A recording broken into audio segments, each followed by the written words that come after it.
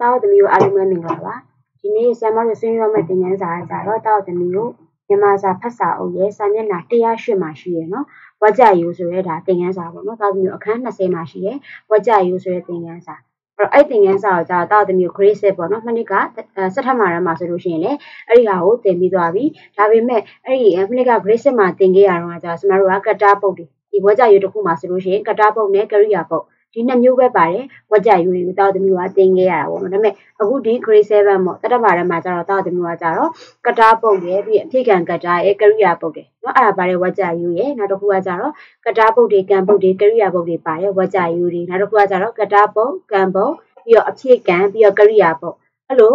ဒီဟာတွေပါတယ်ပေါ့နော်အဲ့ဒီကိုကတားပုတ်တို့ကံပုတ်တို့အဖြစ်ကံတို့ပြီးရင်ကရိယာပုတ်တွေပါတယ်ဝက်ကြယူတွေကိုဒီ grade 7မှာကျတော့ဆက်ပြီးတော့လေ့လာရမှာပေါ့နော် အဲ့တော့ကောက်သမီးတို့ဒီမိနစ်ကကွာဒီ grade မှာပါခဲ့တဲ့ဟာလေးရဲလောက်ပြန်ပြီးတော့နှိမ့်ကြည့်ကြရအောင်နော်အဲ့လိုမနှွေးခင်ဆရာမကဒီဟာလေးကိုတောက်သမီးကိုဟောက်ဖတ်ပြမယ်ဝကြယုစရမတန်းတွင်ကတာပုတ်ကရိယာပုတ်ပါသောဝကြယုများကိုလေ့လာပြီးဖြစ်သည်ယခုအခါကတာပုတ်အဖြစ်ကတာကရိယာပုတ်ပါသောဝကြယုကတာပုတ်ကံပုတ်ကရိယာပုတ်ပါသောဝကြယုနှင့်ကတာပုတ်ကံပုတ်အဖြစ်ကံကရိယာပုတ်ပါသောဝကြယုတို့ကိုဆက်လက်လေ့လာသင်ကြားရမည်ဖြစ်သည် ပသားသမီးတို့ပြီးရင်သူအောက်မှာဒါပေါ့နော်ခေါင်းစဉ်ခွဲလေးနဲ့ခုနပြောတဲ့ပေါ်မှာကတာပုတ်ရဲ့အဖြစ်ကတာရဲ့ကရိယာပုတ်ပါရဲ့အာဒီဟာဒီဟာတစ်ခုပေါ့နော်ခေါင်းစဉ်ခွဲတစ်ခုရဲ့နောက်ကကျတော့ကတာပုတ်ရဲ့ကံပုတ်ရဲ့ကရိယာပုတ်ပါရဲ့ဒီခေါင်းစဉ်ခွဲတစ်ခုရဲ့နောက်ကကျကတာပုတ်ရဲ့ကံပုတ်ရဲ့အဖြစ်ကံရဲ့ကရိယာပုတ်ပါရဲ့ဒီခေါင်းစဉ်ခွဲတစ်ခုရဲ့ပေါ့နော်သူကဒီအာခေါင်းစဉ်ခွဲတစ်ခုအောက်မှာဆိုလို့ရှိရင်ကွာသူကမလေးချင်ကန်လေးနဲ့အများကြီးထည့်ပေးထားတယ်ပေါ့နော်တာသမီးတို့ ဆိုတော့ဒီ project နဲ့ပတ်သက်ပြီးတော့ကြာမှနစ်ကကြာတာသမီးတို့ကြာအစ်စဲပြပြမတင်ခဲ့ရဘူးလေအဲဒီ grade 7မှာမှလည်းနေ့နေ့စဲပြက်နေတင်ရမှာမဟုတ်လို့နော်အားကြောင့်မလို့အဲ့တော့ခုနကပြောတဲ့ဒါဆရာမက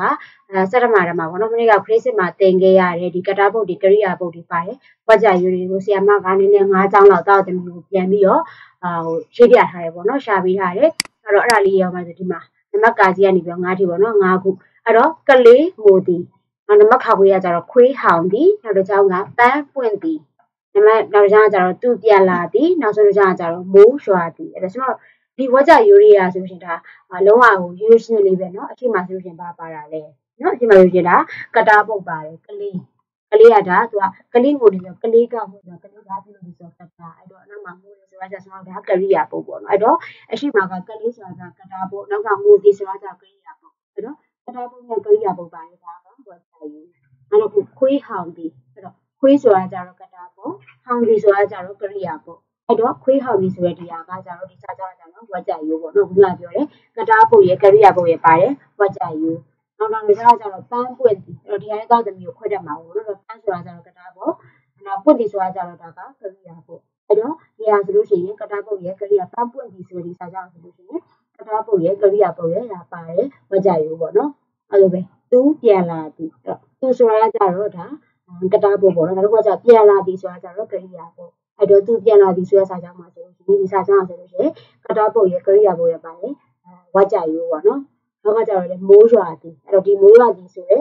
ဒီစာကြောင်းဒီဝတ်ကြကြောင်းဆိုစာကြောင်းဆိုရှင်ပါဒီမိုးအမိုးရွာသည်ဆိုတာဆိုလို့ရှိရင်မိုးဆိုရဲဒါကတာပုတ်ရဲ့ရွာသည်ဆိုရဲကရိယာပုတ်ရဲ့ နှစ်ခုပါလေဝတ်ကြယူပေါ့နော်ဒါကြောင့်သောက်သမီးခွေးစစ်မှာဒီသင်္ကန်းစာလေးပဲဒီစာကြောင်းလေးပဲသင်ခဲ့ရတာပေါ့နော်အဲ့တော့ခုနကပြောစင်မလို့အခုဒီ grade 7မှာကျတော့ဒီဟိုသောက်သမီးကို grade 7မှာသင်ခဲ့တယ်လို့ဒီကတာပုတ်နဲ့ကရိယာပုတ်ပဲပါတယ်ဝတ်ကြယူတွေကိုသင်ရမှာမဟုတ်တော့ဘူးဆရာမတို့ဒီကတာပုတ်တွေအဖြစ်ကတာတွေကရိယာပုတ်တွေပါတယ်ဝတ်ကြယူဒီနာတို့ကကျတော့ကတာပုတ်တွေတံပုတ်တွေကရိယာပုတ်တွေပါတယ်ဝတ်ကြယူရဲ့နောက်တစ်ခုကကျတော့ကတာပုတ်ရဲ့ကံပုတ်ရဲ့ စိတ်ကံရဲ့ကရိယာပေါ်ရပါတယ်ဝါကြယုတ်တွေကြတော့အခုတင်ငန်းကြမှာပေါ့ဒီခု grace ရဲ့ဘက်မှာဆိုလို့ရှိရင်ဆက်ပြီးတော့တာသမီးကလေ့လာအောင်ပါပေါ့နော်အဲ့ဒါဆင်မတို့အရင်ဆုံးပထမဆုံးတစ်ခုခေါင်းစဉ် value အနေနဲ့ကကြတော့ကတားပုံရဲ့အဖြစ်ကတားရဲ့ကရိယာပုံရပေါ့နော်ဒီကပါတဲ့ဝါကြယုတ်တွေကိုဆရာမတို့ကအာဒါအခုဆွေးနွေးပါမှာပေါ့နော်ပြီးတော့သမီးကိုဆရာမကစာကြောင်းလေးတွေအများကြီးတော့သမီးကိုကိုယ့်ဘာသာကိုယ်ခိုင်းမှရရှိရဲဆရာမပြပြထားမယ့်ဟာလည်းရှိရပေါ့နော်အဲ့တော့ဒီလိုဒီမှာ အဖြစ်ကတာဒီကတာဤဖြစ်ပုံရှိပုံကိုပုံပုံထင်ရှားလာစေဒီအဲ့တော့ဒီမှာပို့လာတဲ့ဟုတ်မလားနှစ်ယောက်ဆိုရင်ကျွန်တော် creation မှာဆိုလို့ရှိရင်ကတာပုတ်ရဲ့ကရိယာပုတ်ရဲ့ပဲပါတယ်ကျွန်တော်တို့ဒါဝက်ကြတွေကတင်ပြီးသွားရင်တော့ဒါပေမဲ့ခရက်ကောင်မှာပါလာတဲ့အဖြစ်ကတာအဖြစ်ကတာလေးရဆိုလို့ရှိရင်လည်းသူကဒီအရှိမပါတဲ့ကတာရဲ့ပေါ့နော်ဒီကတာပုတ်ရဲ့ဖြစ်ဖြစ်ပုံရှိပုံတွေကိုပုံပုံပြီးတော့ထင်ရှားလာစေရပါဟာတဲ့အဲ့တော့ဒါသမီးအောက်မှာစာကြောင်းနေကြည့်လို့ရှိရင်ဒါတွေ့ရလိမ့်မယ်ပေါ့နော်အဲ့တော့ဒီမှာဆိုတော့တာရကအနေနဲ့ကပြောထားတယ်မဟောတရာကပြညာရှိဖြစ်သည်ရဲ့ မဟောဒရာကပညာရှိဖြစ်သည်မဟောဒရာဆိုတာစမောက်တာကတာပုတ်ပေါ့နော်ပညာရှိပညာရှိဆိုတာအဖြစ်ကတာဖြစ်သည်ဆိုတာကြတော့ကရိယာပေါ့အဲ့တော့ဒီစာကြောင်းကိုကြည့်မယ်ဆိုလို့ရှိရင်မဟောဒရာကဘာလဲနော်မဟောဒရာရဲ့ဖြစ်ပုံရှိပုံတွေပေါ့နော်ဖြစ်ရှိရှိနေတဲ့ပုံတွေကိုပို့ပြီးတော့သင်ရှားစီရမဟောဒရာဘာဖြစ်လဲပညာရှိဖြစ်တာပေါ့နော် ပညာရှိလားဒါမှမဟုတ်လူဆိုးလားဒါမှမဟုတ်လူမိုက်လားနော်အဲ့လိုသူကသူ့ရဲ့ဖြစ်ပုံရှိပုံတွေကိုပုံမပြီးတော့ထင်ရှားလာစေအောင်လို့အဖြစ်ကတားလေးကိုထည့်ပေးထားတာပေါ့နော်အဲ့လိုပညာရှိဆိုတဲ့ဟာကြတော့ဒီမဟောဒရာရဲ့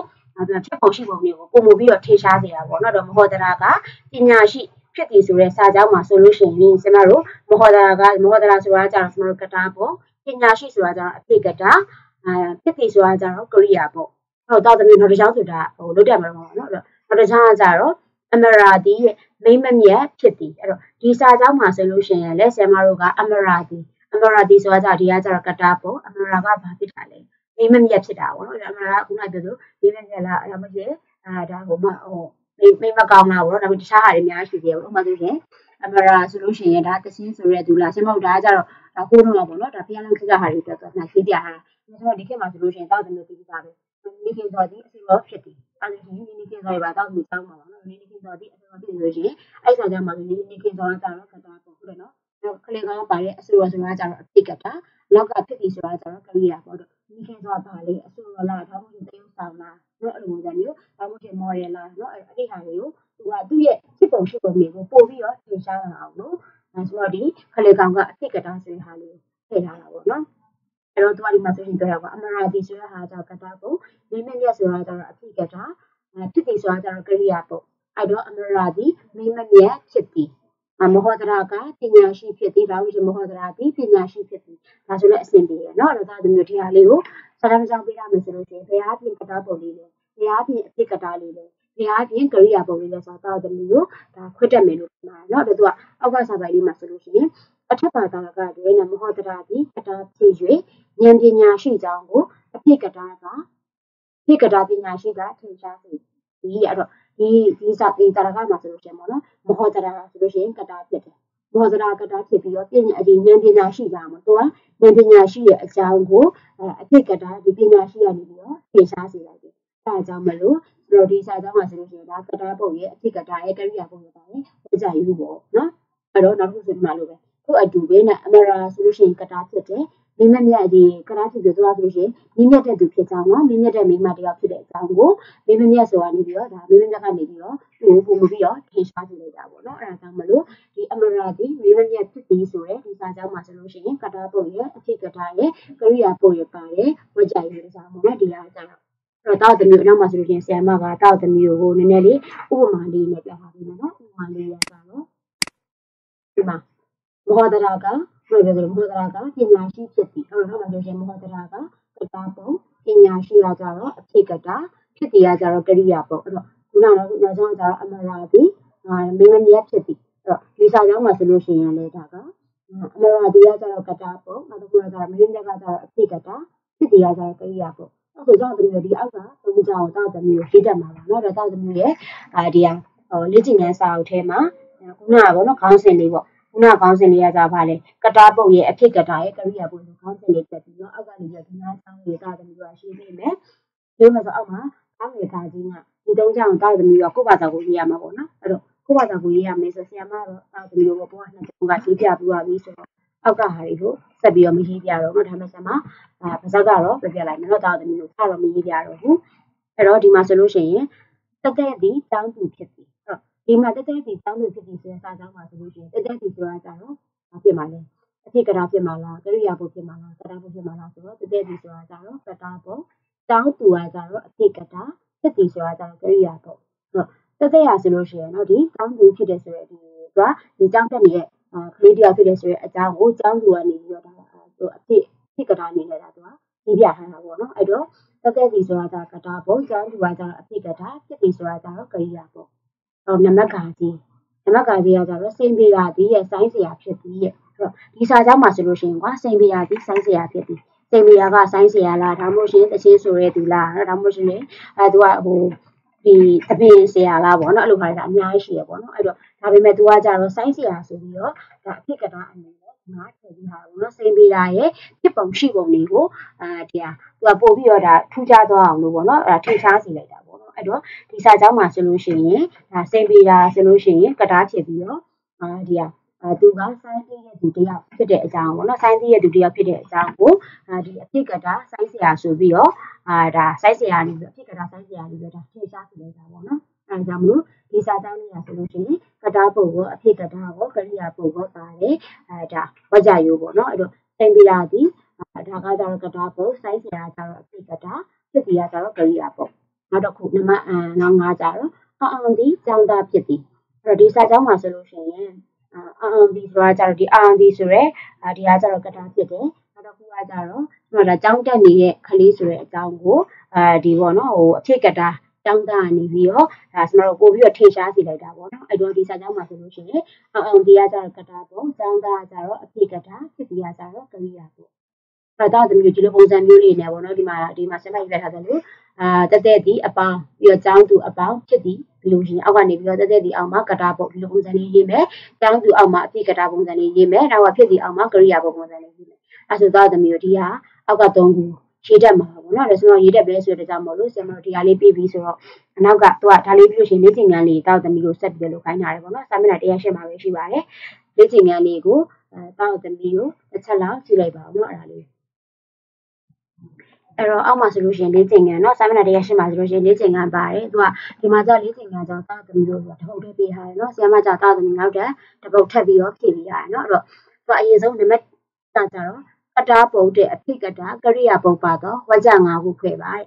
အောက်မှာ၅ခုပေါ့เนาะအဲ့မှာတာရကအနေနဲ့ကကြတော့ မောင်လာအေးကပန်းတယ်ဖြစ်သည်အဲသူကဒီဟာလေးကိုထည့်ပေးထားတယ်ပေါ့နော်တာသမီးကိုခုနကလည်းဟိုရှိမှာပေါ့နော်စာကြောင်းလေးဆီယမကရေးခါမိသွားပြီဆိုတော့အဲ့ဒါလေးရင်းနေတော့သိနေတော့ထင်ပါတယ်နော်အဲ့တော့ဒီစာကြောင်းမှာဆိုလို့ရှိရင်မောင်လာအေးကဆိုတာကြတော့ဘာလဲကတားပုတ်လားအဖြစ်ကတားလားကရိယာပုတ်လားပန်းတယ်ဆိုတာရောဘာလဲဒီသုံးတွေကဘယ်ရရေးရမှာလဲကတားပုတ်ကိုရေးရမှာလားအဖြစ်ကတားကိုရေးရမှာလားကရိယာပုတ်ကိုရေးရမှာလားဖြစ်သည်ဆိုတာရောဘာလဲ ကတားပုတ်ကိုရေးရမှာလားအဖြစ်ကတားကိုရေးရမှာလားကရိယာပုတ်ကိုရေးရမှာလားပေါ့နော်ဒါဆိုတော့ဒီစာကြောင်းမှာဆိုလို့ရှိရင်မောင်လာအေးကပန်းတယ်ဖြစ်သည်အဲ့တော့မောင်လာအေးကဆိုတဲ့နေရာမှာအောက်မှာကတားပုတ်လေးပြီးရင်အပေါင်းလေးရေးမယ်ပန်းတယ်ဆိုတာကဘာလဲအဖြစ်ကတားပေါ့နော်ပြီးရင်အပေါင်းလေးရေးမယ်နောက်တစ်ခါဖြစ်တည်ရအောင်မှာကြတော့ကရိယာပုတ်ပေါ့နော်အဲ့လိုလေးရေးလိုက်မယ်အဲ့တော့တောက်သမီးကိုတရားလေးရေးတယ်မှာပေါ့နော်တာတကာလေးကိုအဲ့တော့အောက်ကငါးချောင်းကြတော့တောက်သမီးကိုကိုဘာသာကိုစဉ်းစားရမယ်တခြားဟာအများကြီးဆမကုနာပြောတယ်ဟုတ်တယ်မလားဒါလေးဒီခေတ်စော်ဒီအာဒါအဆိုတော်ဖြစ်သည် အာဒါမှမဟုတ်ရင်အင်္ဂလာကျော်စင်ဒီအာသေယဆောင်ဖြစ်သည်အဲ့တော့သူဒါရေးလို့ရတယ်အဲ့ဆိုလို့ရှိရင်အဲ့ဒီအောက်မှာဆိုရင်းနေခင်စော်ဒီအောက်မှာဒါကတာပေါ့အားကြောင့်နောက်တစ်ခုကကျတော့အဆိုတော်အောက်မှာအဖြစ်ကတာအဲ့တစ်ခုကကျတော့ဒီဖြစ်တည်ရဲ့နောက်မှာကျတော့ကရိယာပေါ့အဲ့လိုဆိုလို့ရှိရင်သာသမီခုနပြောသလိုဒီမှာ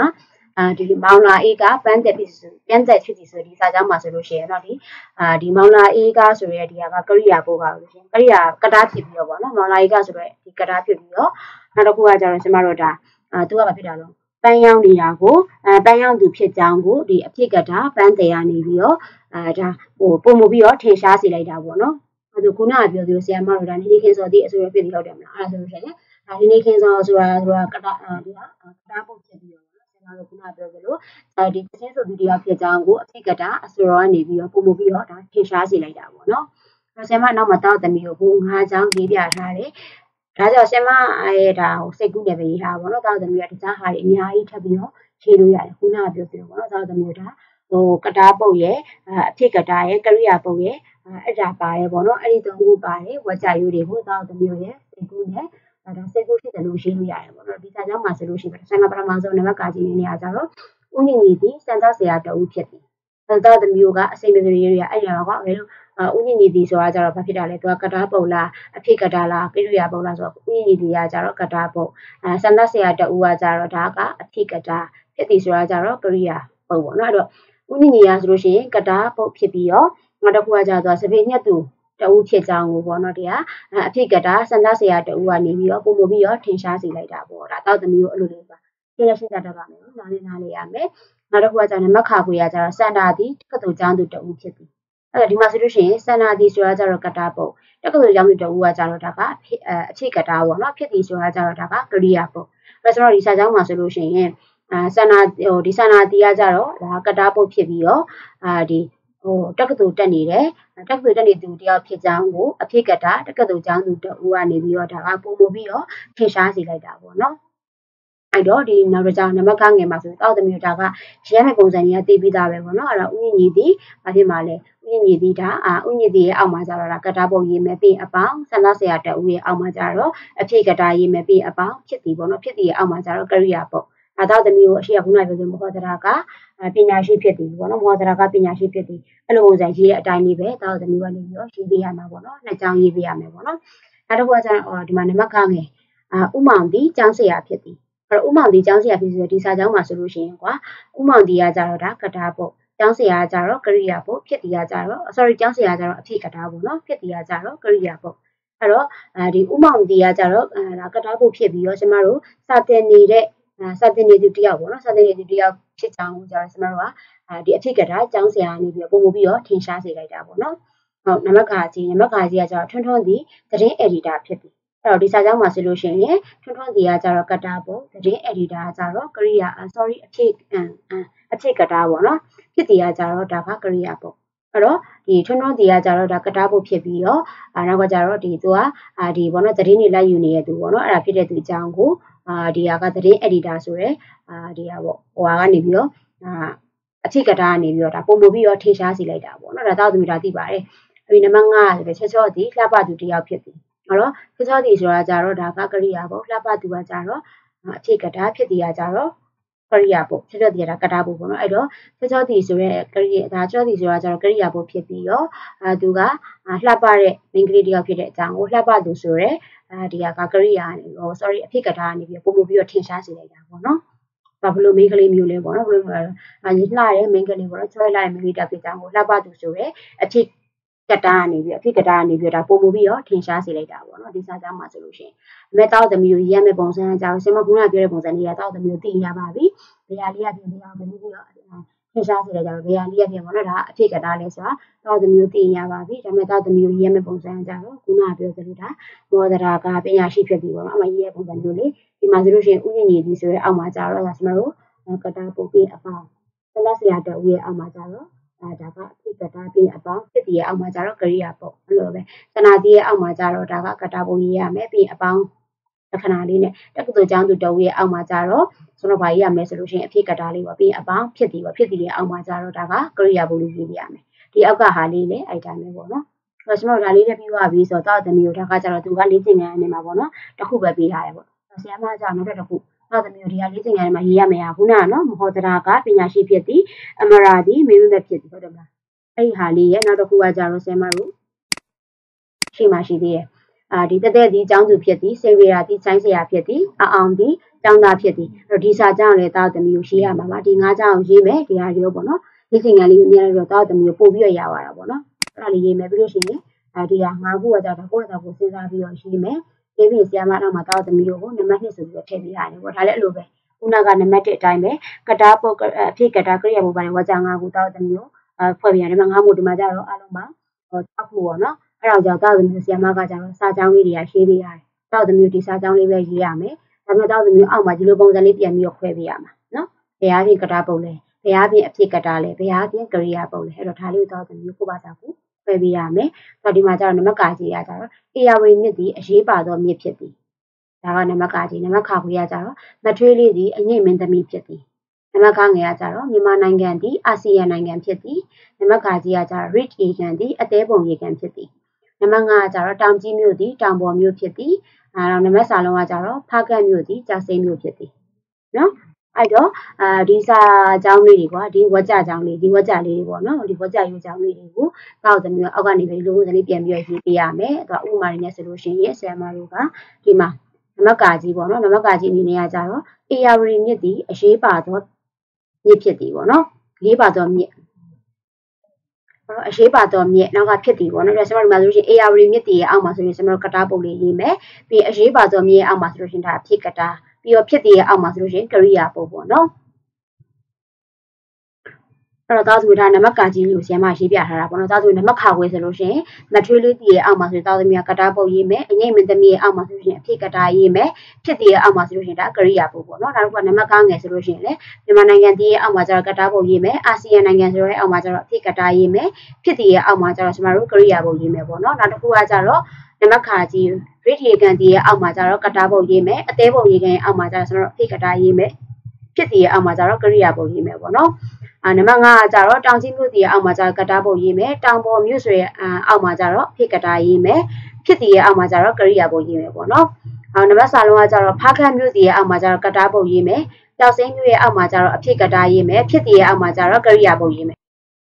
အဲ့တော့သားသမီးတွေနံပါတ်2လို့လေဒါခွဲတတ်မှာပါပေါ့နော်ဒီကာကြီးကနေပြီးတော့စာလုံးတွေဆမ်မနံပါတ်ကာကြီးကိုဒါဥပမာနည်းနဲ့ရေးပေးထားတယ်ဆိုတော့သားသမီးရေးရမှာပါခုနက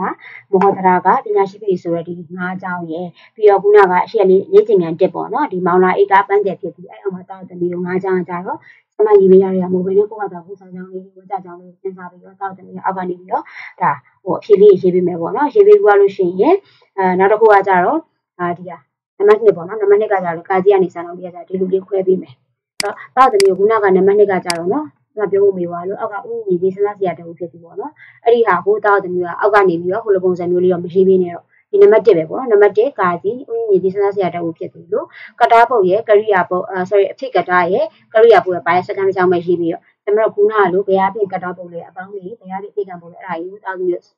တက်လေးခွဲမနေနဲ့တော့ဒီမှာတာရကအနေနဲ့ကကြတော့မောင်နာအေကပန်းတယ်ဖြစ်ပြီးဆိုပြီးတော့ပဲသူကရေးပြထားတဲ့ကြောင့်မလို့တောက်သမီးကအလူကတားပုတ်ရဲ့အဖြစ်ကတားရဲ့ကရိယာပုတ်ရဲ့ပါရတီစာကြောင်းလေးပဲရေးပြရပေါ့နော်၅ကြောင်းကျန်မတဲ့တူအောင်တော့မရှိပေးနဲ့ပေါ့နော်ဒါပေမဲ့တောက်သူဖရားဖြင့်ကတားပုတ်လဲဖရားဖြင့် အဖြစ်ကတားလဲဘယ်အပြင်ကရိယာပုတ်လဲဆိုတော့သမီးကိုသိရမယ်เนาะအဲ့တော့နံပါတ်1ကကြတော့ဒီလိုပုံစံလေးစာကြောင်းလေးပဲရေးပေးမယ်ဝါကြကြောင်းလေးပဲရေးပေးမယ်နံပါတ်2ကကြမှာဒီလိုလေးပြန်ပြီးတော့ဆရာမကိုခွဲပေးမယ်ပေါ့เนาะအဲ့တော့ဒီနေ့အာဆင်မတင်မဲ့တင်ညာစာတော့ဒီလောက်ပါပဲတောက်သမီးရေးရမှာကြတော့သုံးခုရှိရပေါ့နော်အိစာသုံးခုရေးရမယ်တယောက်ချင်းစီအိစာရေးပြီးတော့ထပ်ပေးပါနော်ကျေးဇူးတင်ပါတယ်နောက်တစ်ချိန်ကျမှဆရာမတို့ဒီကတားပုတ်ရဲ့အဲကျွန်တော်တို့ဒီကံပုတ်ရဲ့ကရိယာပုတ်ရဲ့ပါတဲ့စာကြောင်းလေးတွေဆက်ပြီးတော့ရေးကြတာပေါ့နော်